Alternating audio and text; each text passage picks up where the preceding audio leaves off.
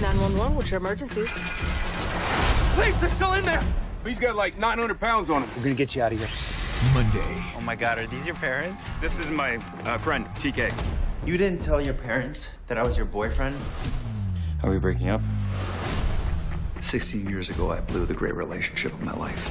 You know what to do, Cap. Would you marry me?